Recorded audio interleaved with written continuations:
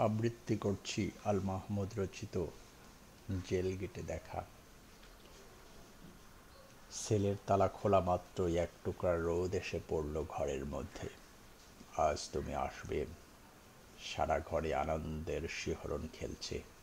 যদিও উত্তরের বাতাস হাড়ে কাঁপন ধরিয়ে দিয়ে বইছে, তবু আমি ঠান্ডা পানিতে হাত মুখ ধুয়ে নিলাম। পাহারাদার সেন্ট্রিকে ডেকে বললাম, আজ তুমি আসবে। সেন্ট্রি হাসতে হাসতে আমার সিগারেটে আগুন ধরিয়ে দিল। বলল, বারান্দায় হেঁটে ভোগ বাড়িয়ে নিন। দেখবেন বাড়ি থেকে মজাদার খাবার আসবে। দেখো, সবাই প্রথমে খাবারের কথা ভাবে। আমি জানি বাইরে এখন আকাল চলছে। ক্ষুধার্থ মানুষ হন্যে হয়ে শহরের দিকে ছুটে আসছে। সংবাদপত্রগুলো না বলে পারছে না যে এ অকল্পনীয়। রাস্তায় রাস্তায় অনাহারী শিশুদের মৃতদেহের ছবি দেখে আমি কতদিন আমার কারাকক্ষের লোহার জালি চেপে ধরেছি। হাই স্বাধীনতা, অভুক্তদের রাজত্ব কায়েম করতেই কি আমরা সর্বস্ব ত্যাগ করেছিলাম? আর আমাকে ওরা রেখেছে বন্দুক আর বিচারালয়ের মাঝামাঝি, যেখানে মানুষের আত্মা শুকিয়ে যায়। যাতে আমি আমার উৎস খুঁজে না পাই। কিন্তু তুমি তো জানো কবিদের উৎস কি। আমি পাষাণ কারার চৌ চৌহদ্দিতে আমার ফোয়ারাকে ফিরিয়ে আনি। শত দুর্বেদ্যের মধ্যেও আমরা যেমন আমাদের উৎসকে জাগিয়ে রাখতাম, তেমনি চড়ুই পাখির চিৎকারে বন্দীদের ঘুম ভাঙছে। আমি বারান্দা ছেড়ে বাগানে নামলাম, এক চিলতে বাগান। ভেজা পাতার পানিতে আমার চটি আর পাজামা ভিজিয়ে চন্দ্রমল্লিকার ঝোপ থেকে এক গোছা সাদা আর হলুদ ফুল তুললাম। বাতাসে মাথা নাড়িয়ে লাল ডালিয়া গাছ আমাকে ডাকলো। তারপর গেলাম গোলাপের কাছে, জেলখানার গোলাপ। তবু কি সুন্দর গন্ধ। আমার সহবন্দীরা কেউ ফুল ছেড়ে না, ছিঁড়তেও দেয় না। কিন্তু আমি তোমার জন্য তোড়া বানাল, বাঁধলাম। আজ আর সময় কাটতে চায় না। দাড়ি কাটলাম, বই নিয়ে নাড়াচাড়া করলাম। ওদিকে দেয়ালের ওপাশে শহর জেগে উঠেছে। গাড়ির ভেপু রিক্সার ঘণ্টা ধ্বনি কানে আসছে। চকের হোটেলগুলোতে নিশ্চয় এখন মাংসের কড়াই ফুটছে, আর মজাদার ঝোল ঢেলে দেওয়া হচ্ছে। গরিব খদ্দেরদের পাতে পাতে। না, বাইরে এখন আকাল। মানুষ কি খেতে পায়? দিন মজুরদের পাত কি এখন আর নেহারির ঝোলে ভরে ওঠে?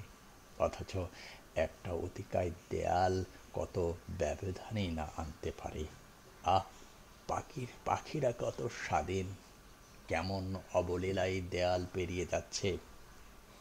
জীবনে এই প্রথম আমি চড়ুই পাখির সৌভাগ্য, সৌভাগ্যে কাতর হলাম। আমাদের শহর নিশ্চয় এখন ভিখেরিতে ভরে গেছে। সারাদিন ভিক্ষুকের স্রোত সামাল দিতে হয়। আমি কতবার তোমাকে বলেছি, দেখো, মুষ্টি ভিক্ষায় দারিদ্র দূর হয় না। এর অন্য ব্যবস্থা দরকার। দরকার সামাজিক ন্যায়ের। দুঃখের শিকড় উপড়ে ফেলতে হবে। আহ যদি আমার কথা বুঝত, বুঝতে। প্রিয়তমা, আমার, তোমার পবিত্র নাম নিয়ে আজ সূর্য উদিত হয়েছে। আর উষ্ণ অধীর রশ্মির ফলাগারদের শিকের উপর পিছ, পিছলে যাচ্ছে। দেওয়ালের উপাস থেকে ঘুম ভাঙ্গা মানুষের কোলাহল, যারা অধিক রাতে ঘুমোয় আর জাগে সকালের আগে।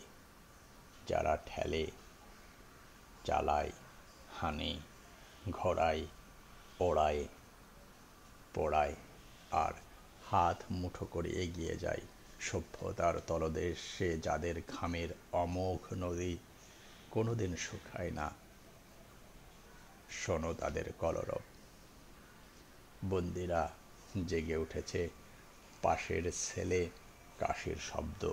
আমি ঘরে ঘরে তোমার নাম ঘোষণা করলাম, বললাম, আজ বারোটায় আমার দেখা। খুশিতে। সকলেই বিছানায় উঠে বসলে, বসল, সকলেরই আশা, তুমি কোনো না কোনো সংবাদ নিয়ে আসবে।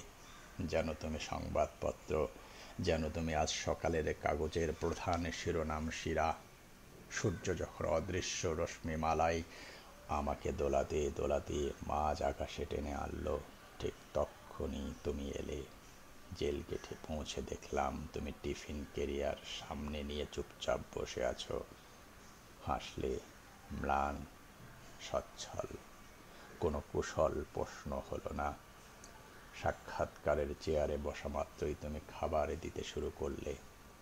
মাছের কিমার একটা বল গড়িয়ে দিলে, দিয়ে জানালে, আমার ধর আবার ধরপাকড় শুরু হয়েছে।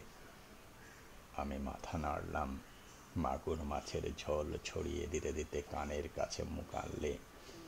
অমুক বিপ্লবী আর নেই। আমি মাথা নামালাম। বললে, ভেবো না, আমরা সইতে পারব। আল্লাহ আমাদের শক্তি দিন। তারপর আমরা পরস্পরকে দেখতে লাগলাম। যতক্ষণ না পাহারাদারদের বুটের শব্দ এসে আমাদের মাঝখানে থামল। অসংখ্য ধন্যবাদ